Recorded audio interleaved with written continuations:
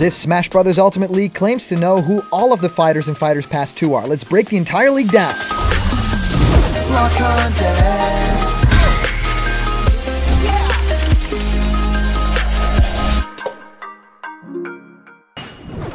What's happening, my block buddies, and welcome to a brand new episode of Blocked Content's Leak Speak. My name is Callum, and this is going to be your content for today. And yeah, it's been a long time since we've discussed something quite like this. The magnitude of this is quite amazing because not often do we have all of the characters in the Fighter's Pass to discuss, and right now it actually is from a post that was a very long time ago, so not something new that has just popped up, but something that a lot of people are actually saying, well, spoiler alert, right? This might actually be a real thing. So, with that out of the way, I really wanted to say to my audience, you blocked content, my blocked buddies, this might actually hold some spoilers. Like, of course, this could very well also not be real and just something that someone fabricated, but this could potentially hold all of the information to the upcoming three fighters for the Super Smash Bros. Ultimate Fighters Pass number 2.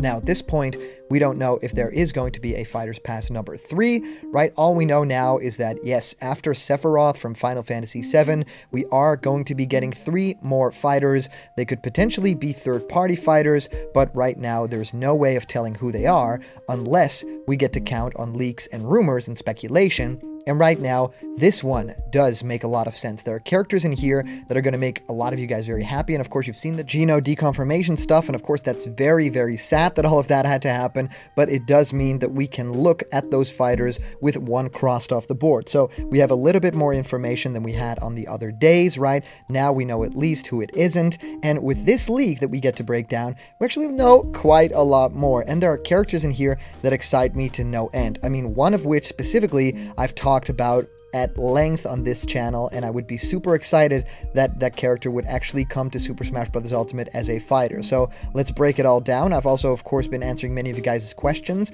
about Smash Bros. Ultimate and new fighters in our show Question Blocked, where I answer your questions. What do I think of your favorite game? How do you start making YouTube content? Well, whatever you can think of, send your question through to blockedcontentmail at gmail.com, and I will answer your question live on the show in our next Question Blocked episode. Okay, so all that we're going to be discussing today is going to be this single leak, and of course, characters attached to it, and sort of a general breakdown of that whole situation. Now, this comes to us from Balba Bulbasaur on Twitter, and first off, posts just as we just discussed potential Fighters Pass spoilers, and then, of course, press the image. And then going on to say, this would be a pretty good pass. The fourth character is someone who was among my most wanted for a while. I unironically really like the third character, but yeah, the second character I'm meh for, but don't hate. So let's dive into who these characters actually are. Now, and if you click it, it says press image to see possible leak, and then goes on to say a post from Monday, the 11th of May, 2020, which is, of course, totally insane. Then it goes on to say Min Min and Ninjara from ARMS, Ryu Hayabusa from Ninja Gaiden, Doom Guy from the Doom franchise, Rayman from the Rayman franchise, Sephiroth from Final Fantasy VII, and Steve from Minecraft. Now, I remember this happening back in the day, and the link was actually functional, so isn't that totally crazy? Now, of course, he follows up with a little bit more of his thoughts on it, saying, also, this screenshot is real and not photoshopped as seen with the linked tweet. While yes, it did predict Ninjara in addition to Min Min, predicting Min Min, Steve, and Sephiroth is getting into too much to be coincidence territory. Nothing 100% though. And I totally agree. With these characters, I mean, there is a certain chance that, of course, a lot of these rumors and these leaks happen, and people are predicting characters left and right. But what it also could mean is that someone could be hitting the jackpot by accident, right? And of course, Min Min is in the game, but Ninjara is not. Did of course appear in that trailer, but is not a playable character. Sephiroth totally happened, and Steve happen as well. So, what are the chances that these other three characters that are listed below each other would also happen? What I think is pretty funny about this is that those three characters are then mentioned, and Sephiroth and Steve at the bottom there, and Min Min was actually the first character that appeared in the game. So that's quite funny, but also the fact that, of course, Ryu Hayabusa Doom Guy and Rayman are among the most requested characters. And, well, if it didn't really include Crash Bandicoot, these three characters would be someone that a lot of people would actually share with, right? I mean, of course, now that we have Steve, a character like Master Chief doesn't really sound all that likely anymore, because of course that would be another Microsoft rep, and for this pass, that would be a little bit too much, right? We got Banjo in the previous pass, now we have Steve in this pass, so maybe if there's a Fighters Pass number 3, which would be very lucrative for Nintendo, they would really, really win back that development time and cost.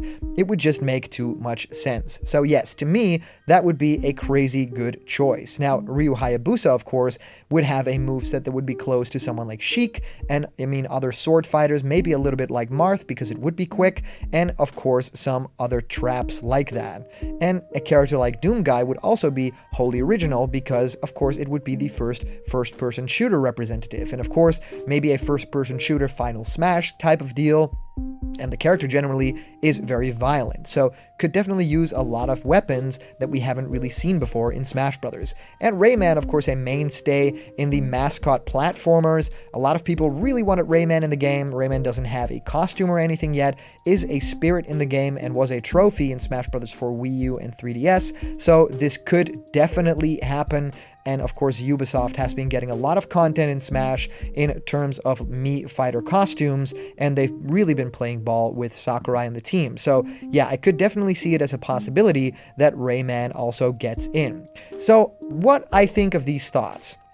Well, I think that these are likely candidates aside from this whole leak. Do I believe that this leak is completely real? Well, of course, this was actually posted on that specific date. So the question becomes more is this actually a prediction? Is this someone who just hit the jackpot and just basically blurted out something that up until this point is actually true? Or is this someone that actually has inside information that has ties to Nintendo and Sakurai and and through May, was it already chosen who the characters are? Well, a lot of people are, you know, pointing to Sakurai's tweets and thoughts about that. So I would generally be really curious if you guys have any specific thoughts on this, any characters from this leak that you guys really like, and characters that you can't wait to see in Super Smash Bros. Ultimate. I would love to know you guys' thoughts, so let me know in the comments down below, and you could actually be featured and read out loud in our next video. And today's comment question is, of course, do you want this leak to be real, and who of these characters do you think should be in?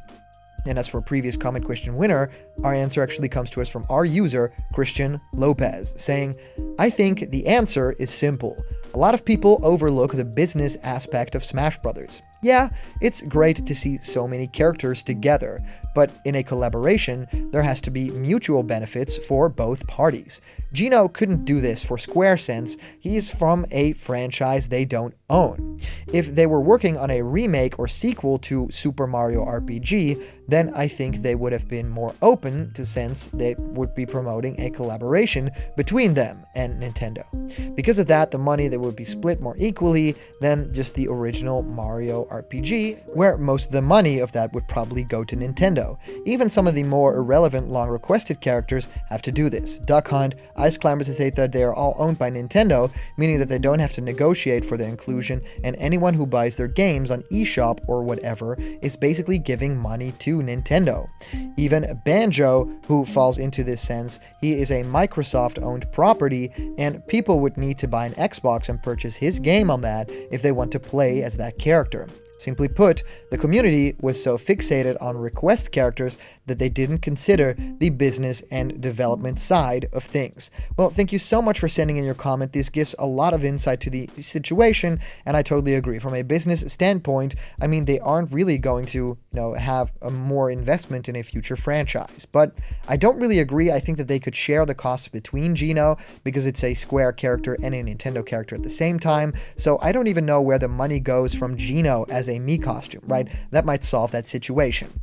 Well, thank you so much for sending in all your comments. These are always so much fun to read through. And of course, a big shout out to our latest Patreon supporters and the super chats you guys sent during live streams. You guys make block content possible. So if you want to have yourself created in blocked content style, join me for a live discussion, or even have your own ideas become animations, go to patreon.com slash blocked content. There's a bunch of incredible rewards there, and they're waiting for you. And remember, if you are not yet a member of the blocked content family yet, hit subscribe now, smash that like button, and ring the bell for for notifications, and all the news and fun you care about will be delivered on the daily to you. Thank you guys so much for watching, and I'll see you around the corner where there's always more blocked content. See ya!